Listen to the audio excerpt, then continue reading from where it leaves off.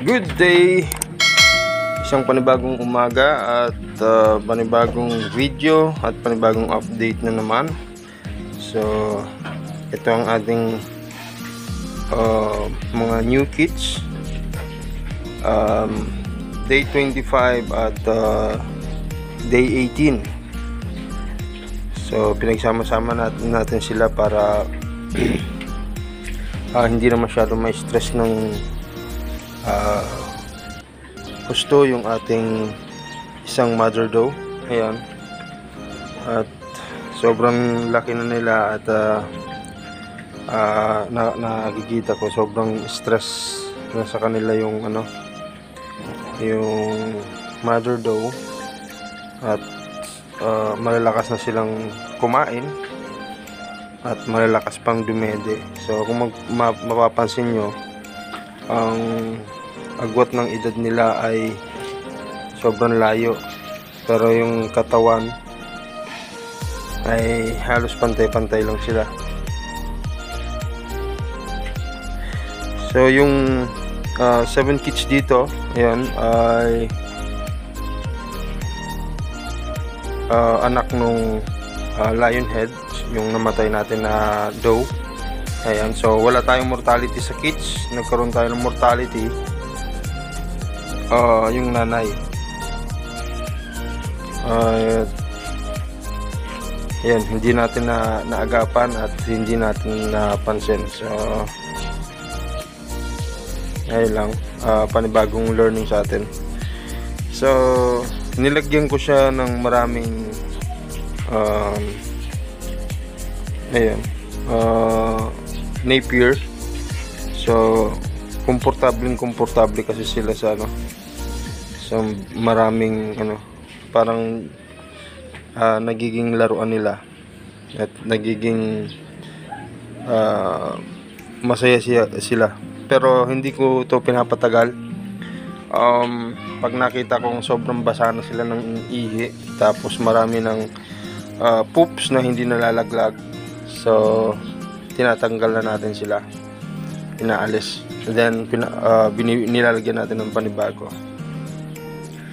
so daily na tayong kumukuha ng ng napier. So kung makikita nyo ay may mga napier grass na sila. Pati yung uh, apat doon. Um, ayan nga sinasabay na natin sa sa diet nila yung uh, grass feeding. Um, pero malakas pa rin sila sa feeds consumption. Um, mas madalas maubos yung feeds bago yung ano yung yung grass so uh, mini-maintain natin every ano every cage ay makapag uh, makakain lang sila ng uh, 100 grams per day. So, yun yung diet nila. Then, uh, nilagyan na lang natin sila ng maraming, ano, maraming grass. Pero, iba-iba yung grass natin na binibigay sa kanila. Usually, uh, dahon ng banana, madre de agua, napier, at uh, nilalagyan din natin sila ng uh, malunggay. Tapos, uh, nangunguha rin tayo ng uh, paragis. Ayun. So, maganda rin sa kanila. So, basta laging tatandaan yung basic uh, air dry. So, kung ipapakain nyo ng uh, uh, kinuha nyo ngayong umaga, kailangan at least 8 hours na air dry ang ano natin ang grass na ibibigay sa kanila so uh, napakabisang ano yon para hindi tayo maka-experience ng diarrhea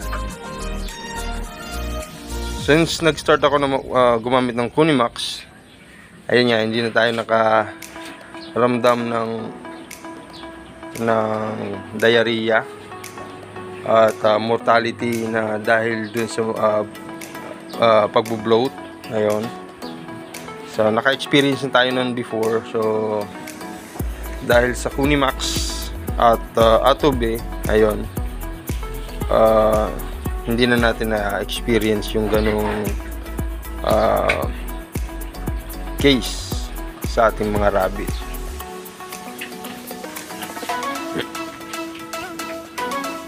So, ayun lang.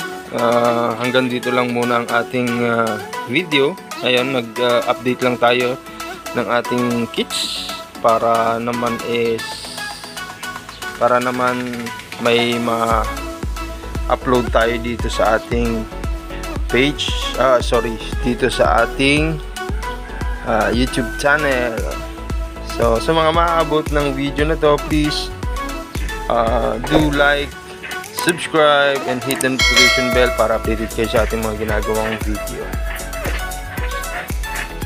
Salamat sa mga nadadagdag ng mga viewers, sa mga uh, nagla-like ng ating mga video at mga subscribers. Thank you very much.